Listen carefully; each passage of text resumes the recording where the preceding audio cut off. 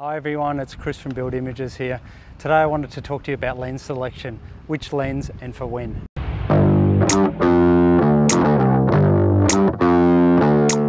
Essentially there are three lenses that you'll want to use uh, to give you that full zoom range when you're on site, whether that be for property or construction or even real estate photography.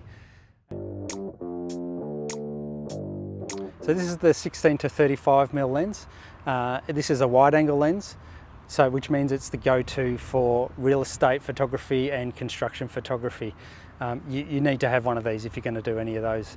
Um, basically what it does is because it's a wide angle, it means you can capture a lot more of the site or the, or the, the house or the building, whatever it is that you're capturing.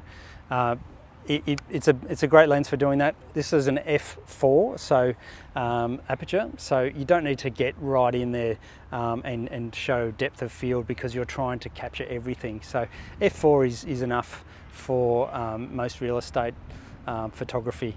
Um, so I would highly recommend getting one of these for your site photography. Also a great lens if you're doing video work as well on site.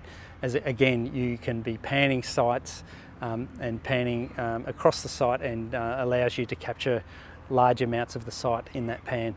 Uh, so I would highly recommend this one. So this is the 24 to 70 uh, Canon L series lens. It's a great lens. If you only can afford one L series lens, I'd go with this one, the 24 to 70. Um, it, it's basically because it gives you a good range. While it's not wide angle and it's not as wide as the 16 to 35, it, it will, with a 24 mil uh, end, give you a good, a good range for the picture and fit a lot in. While at the same time, with a 70 mil, you can zoom right in if you're close enough to a subject and get that nice depth of field that is nice and crisp on the subject and blurry in the background. So it's a really nice lens.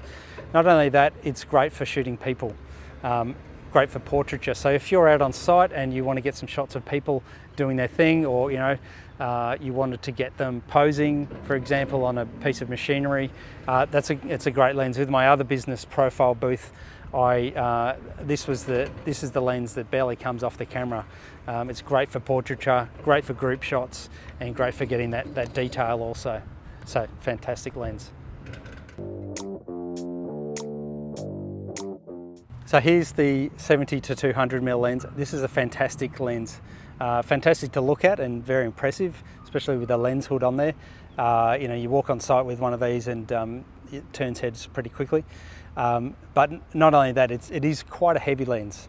Um, so what I recommend is if you're going to be on site for any extended period of time, that you don't hang it over your shoulders because you will get sore shoulders and, and back by the end of the day.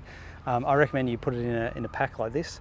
Um, which has a, a, notch in it so you can actually put that on your belt and um, you know pull it in and out off your belt and it puts the weight on your hips rather than across your shoulders so highly recommend you use one of those.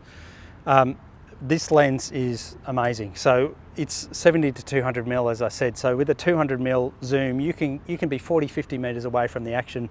Zoom right in and um, get some fantastic images so it's great for a few reasons one safety wise you can stand back you don't have to be right in where the action's happening so you can get in there. Um, also, it allows you to get candid images because people are less likely to know that you're focusing in on them if you're that far away.